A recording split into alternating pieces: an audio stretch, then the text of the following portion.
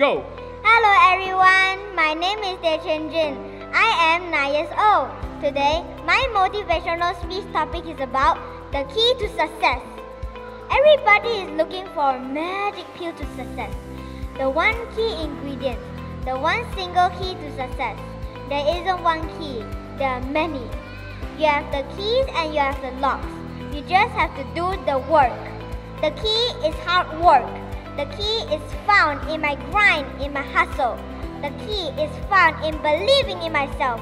The key is in believing in myself when no one else does.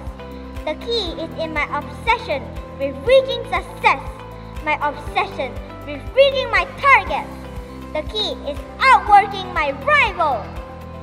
The key is sacrificing my today for a better tomorrow. The key is in getting out of my comfort zone and pushing myself past personal limitations. The key is in daily growth.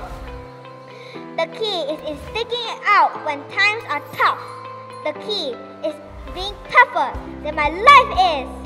The key is using my pain as fuel to drive me to success. The key is wait, the key is in my goals. Goals so big that scares small minds. The key is in my vision.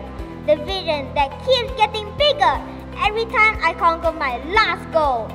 The key is in taking responsibility for my life no matter what happens, no matter what test life throws my way. The key is in is doing whatever it takes. The key to success. The key to success. The key to The key to success. Round of applause to Qian Jun.